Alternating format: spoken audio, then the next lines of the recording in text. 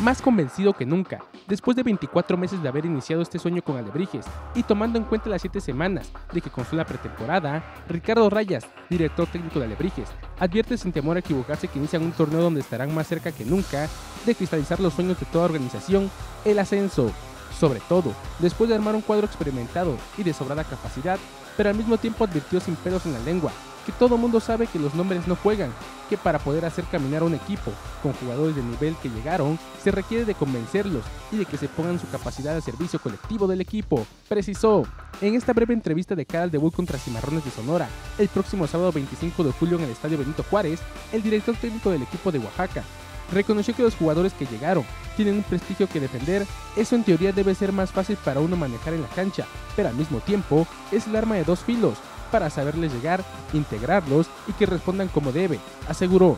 Reyes también expuso que la historia en los 24 meses que han pasado ha tenido más satisfacciones que tristezas. Es cierto que no hemos logrado nada destacado, nada que presumir, pero hemos estado en la antesada de todo y esperamos ahora sí dar ese paso adelante, confiando en un plantel más experimentado, de más recorrido y quizá hasta de mayor calidad, pero tenemos que demostrarlo, insistió. Para MBM Deportes,